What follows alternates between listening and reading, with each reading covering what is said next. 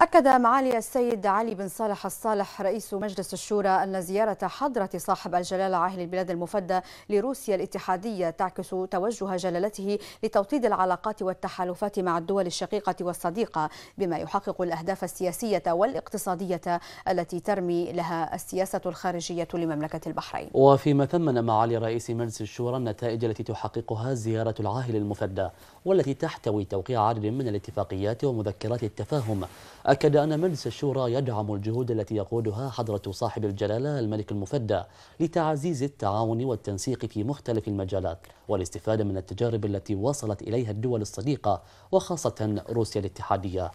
مبينا استعداد المجلس لمتابعة ما يتم التوصل إليه من اتفاقيات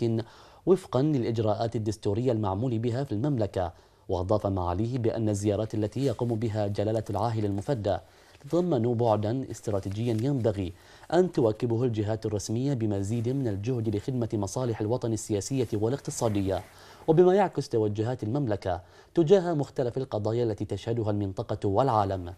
ومن هذا المنطلق فإن مجلس الشورى سوف يبذل قصارى جهده من أجل تفعيل التعاون والتنسيق مع البرلمان الروسي والعمل على تنسيق الجهود والمواقف مع ممثليه خلال المحافل الدولية فضلا عن دعم لجان الصداقة وتبادل الخبرات في المجال التشريعي.